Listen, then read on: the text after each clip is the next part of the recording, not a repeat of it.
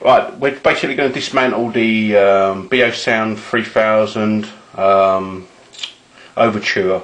Okay, this is to get the laser out. I just want to also point out that I'm not a Bang Olufsen repair specialist or anything like that. So when you actually take these apart, you're taking them apart at your own risk. Um, just be careful with what you're doing. Make sure that you haven't got the mains on. Okay.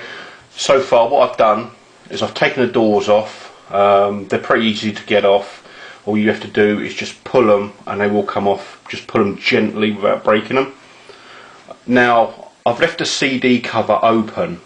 Now there's a reason behind that and I'll show you that reason in a minute. Now I'm actually going to unplug the back. Okay so all the lights are off. I'm going to remove the CD now we're going to take these covers off. Now these covers actually come off very gently. Don't really pull them or anything but if you just pull them at the bottom like that they will come off.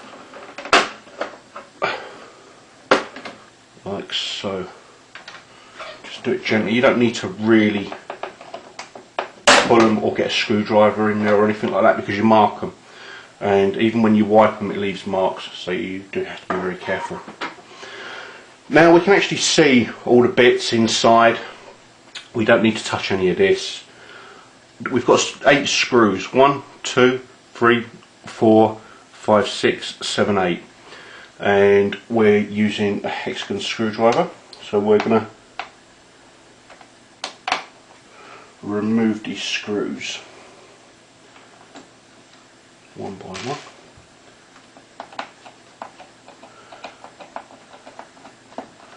Just do it very gently. Um, so you don't mark anything. Just watch what you're doing with a screwdriver at all times.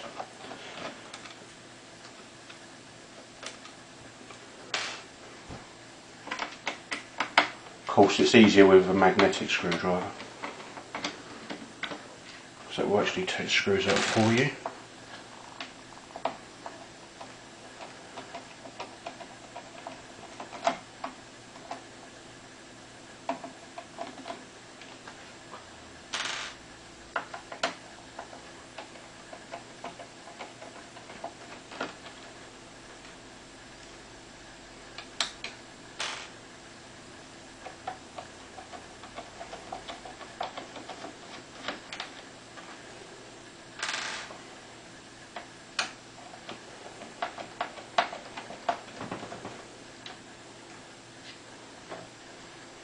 Okay, so we've actually just removed the eight screws.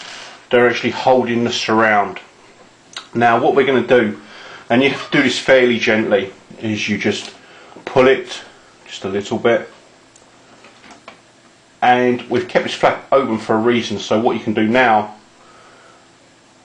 is close that flap as it goes down and you can see like a little sort of elbow that fits into the CD opening. So all we do is we push that across and remove that and just very gently hold that up there somehow.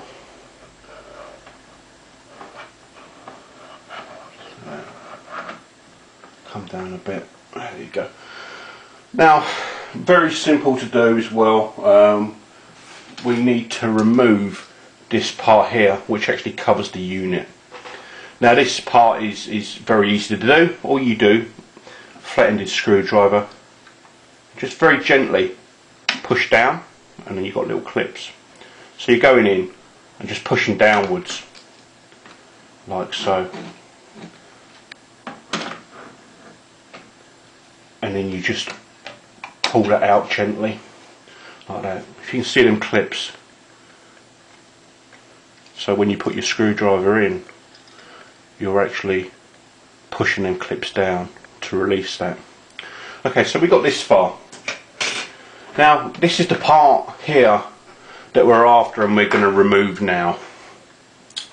The wires are actually held in by these little little clasps. Again, we're using a hexagon driver. And we're going to undo these.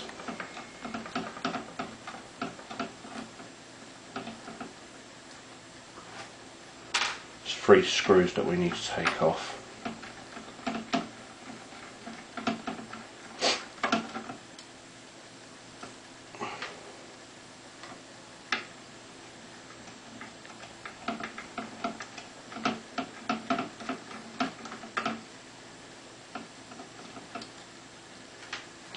Okay, so we've removed these three screws that are actually holding the, the wires to the, the assembly part there.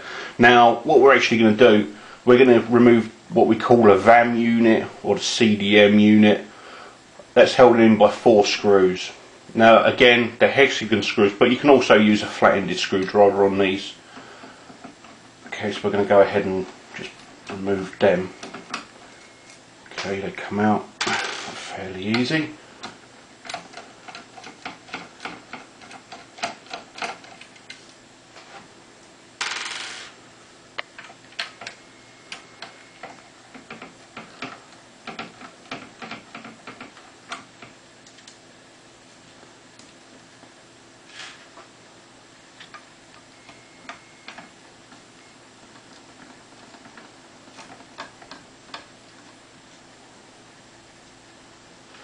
Now, we've undone three screws here and the four screws there.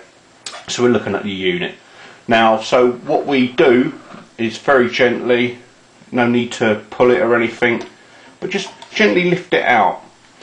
And you'll find that it's, if you look in there, you can see that it's, it's hooked underneath there. So you just gently pull that off like that. And you have three wires. You have one wire there, which is a connector gently pull that out. Another two there. And remember the green one goes at the bottom. Fairly easy to remember. And you just put them out gently. No need to yank them now this is the unit that we have.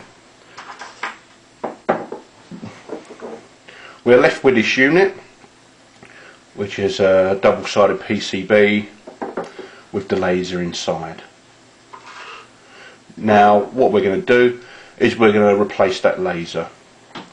Again this is part one of the disassembly of the actual unit.